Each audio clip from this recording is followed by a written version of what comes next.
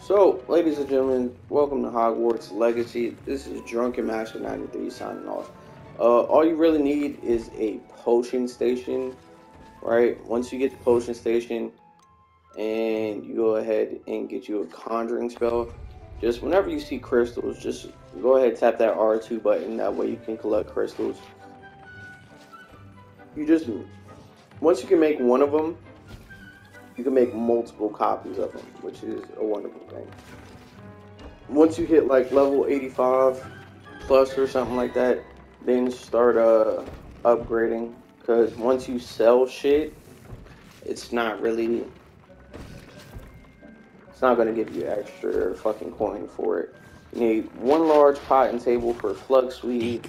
Uh, a fertilizer thing helps you grow like extra in these, but it only increases by like one or two, which is okay, I guess. Uh, you need a triple planting table. And once you have that, you need a male and female of each species. Once you have a male and female of each species, you want to get you a breeding station right here, which works by walking up to it and then just breeding shit. You can also sell these animals and whatnot, but I haven't really found a reason to sell them because they don't really pay that much. Uh, if you have the automatic feeding station, which you get from Tomes and Scrolls, and the toy box, which you get from Tomes and Scrolls, all you have to do is just come in, switch over to the brush, and then you'll you will be able to, you know, get all of the fur, the hair, the feathers, whatever you need etc. That way you can come over to the loom and upgrade your shit. Which you just do by clicking, uh, view trades, view upgrade, boom, boom, boom. And voila, we're done. It just keeps going on and on. But I wouldn't suggest using the loom until like 85 because it's really not going to do much. Like at all. Uh,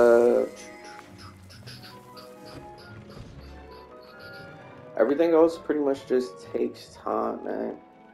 Once you do like the main story, if you do the main story straight through without like side quests and whatnot, then you're gonna end up at like level 32 or something like that, kind of like I did.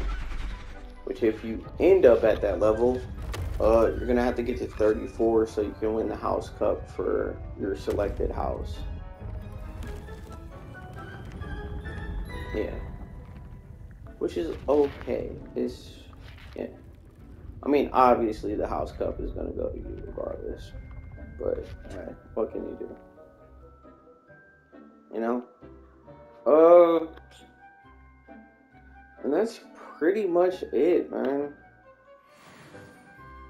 Uh the trolls I would highly highly suggest using primarily uh what I use for the trolls. I would use Avada Kedavra for the trolls, man. The trolls and once you get to the not the Ranrock dragon, like it won't hit as much, but it will take like a solid amount of life. Uh, that being said, let's go ahead and go over to the talent section. Talent section. Uh, as you can see here, nothing is completely full, but I am done with the main story. Uh, stealth definitely comes in handy, so I would prioritize stealth. If you have yourself a couple of favorite spells, I guess, then uh definitely prioritize those. Each those will be in like core and spells, which you will get shit like mastery, shit like that, basically. Uh, me personally, I would go with for like spells wise, uh, Arresto Momentum and Glacius are probably like the best in like the yellow category. Uh, personal opinion. In terms of the purple category, I would go with Depulso. Yeah, I would go Depulso and then Descendo, which are really good. Uh, Flipendo and Accio. Accio basically turns into Wingardium Leviosa if you use it towards the end. But these two are more for like puzzle solving shit. Uh, Bombarda is extremely powerful. Confrigo is really what you want to use against fucking spiders and shit like that. Uh, Defendo. How do I describe Defendo? Defendo is is solid.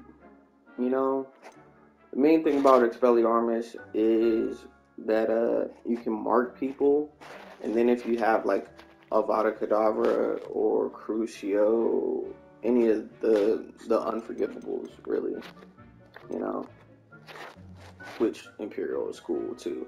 But if you have any of those, I would go with this whole red section or any of these sections really. If you can use it to mark, like curse mark people, definitely go for that. Uh, Incendio is okay. I kind of liked it better before I turned it into the ring thing. The ring thing is very helpful for fighters though. Uh, once again in the stealth category, disillusionment is basically the shit, really. It's like the main one that you're pretty much going to use in this sky blue fucking area right here. Lumos is cool when you come up against, which I can't remember the name of it right now, but those thorns that hate fucking light from like the Chamber of Secrets movie, I think it was. That shit is great, as you can see right here on the screen. Uh, this whole kind of like puke green section is really only necessary when you're inside the room of requirement. This Avada Kedavra has a very, and I mean very long, like cooldown time. But if you use the rest of these to curse mark people and take that time and then hit them with the Avada Kedavra, bro, everybody's going down at once, which is great. Uh, Crucio is okay. It kind of just like slows people down. Plus, this whole section right here pretty much goes through like the little thought bubbles that people have, like the yellow, purple, and red and shit that protect them. But it's alright. But in terms of the unforgivable curses, it would definitely be Imperial and Avada. Because Imperial, you're literally making your enemies fight for you at that point. You don't have to really do shit. So if you're going to use Imperial, I would definitely I'd go for the strongest person. So if you're up against trolls and a whole bunch of goblins, go for the troll. If you're up against like mother spiders and like the babies and shit, go for the mother spider, etc., etc. Because the biggest enemy is to kill the rest of them. Even when you're fucking uh when you're doing the whole ancient maggot magic bullshit or whatever, and those giant dudes be coming up, hit them with the Imperial. Plain and simple. But uh, yeah, that's pretty much uh, tips and tricks for Hogwarts Legacy. Now that I am finished with it, that's really what I got, man. Other than that, man, it's it's definitely a great game. I I definitely like the amount of uh, customization that you can do. And also, just for the people who don't know, because some people are like low key swaggy, but still want like all of the fucking uh the XP points or whatever for like whatever you're wearing and some shit, you can change your appearance for this shit. On PlayStation, it's square, so on Xbox, I would assume that it would be like whatever the left button is on that right side. Uh, and then just pick whatever you want and you're straight. You don't have to necessarily just be out here in the dumbest outfit ever. You can make shit invisible or do whatever you want. I mean, really still mad that I can't ride a Thestral because I would rather have a Thestral than a, a Hippogriff, but that's that's cool. And yeah, I'm still fucking with the Ember Dash broom since like the beginning. The rest of these shit's cool, but the Ember Dash is my shit. And you can really customize the shit out of your wands. Really. But the only bad part about it is you cannot go back to Ollivanders and fucking like switch like your heart, your fucking core, and all that other bullshit, whatever, whatever. Uh, as you can see here, Red Oak Dragon Heartstring Unyielding 13 inches. That's what I'm stuck with. At most, all you can do is switch the wand handles, as you can see here. But my personal favorite is that Celestial was fire. And then maybe the Imperials. That's about it. But anyway, definitely try this shit out if you are if you are a fucking Hogwarts head, bro. Like this shit is it's wonderful. It's definitely wonderful. If they came out with a VR version, which I'm hoping would be fucking amazing, it would it would definitely be great. Uh, also, if they came out with an online, because this shit really gives me like Red Dead Redemption 2 vibes, except it doesn't have a fucking online, which is really weird. So that would be great if that fucking happened. Because this fucking map is huge. Like fucking huge, bro. You you can easily make this like a I don't know, maybe like a 50 like a 50 a lobby type of thing or some shit like that. Not even. Actually, fuck that shit. You can you could definitely make this like a hundred and people can hook up in like Hogwarts style teams, which would be what like Harry, Hermione, and Ron, really. So like teams of three, and then just kind of travel around and do shit, which would be fucking amazing. Just a thought. Definitely uh give that a thought.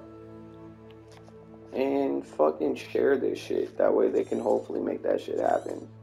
Cause that is that would be dope. That would be fucking dope. And then even on top of that shit, where are the dragons? Like, yo, there's a dragon flying off the screen, well, flying across the screen right now. Like, I collected a dragon egg from fucking poachers and everything, and I cannot get a dragon. So all these flying mounts, you got Thestrals, you got dragons, uh, you got the hippogriff.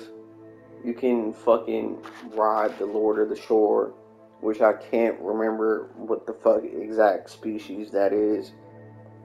And you're telling me that I cannot be out here flying across the fucking world on a dragon. That's crazy. Especially since y'all set it up with like the whole goblin metal shit to make dragons listen or whatever type shit. That way they fucking obey what you say, and niggas can't have a fucking dragon? Come on, bro. Come on.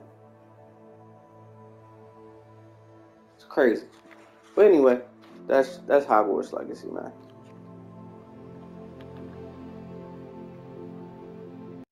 PlayStation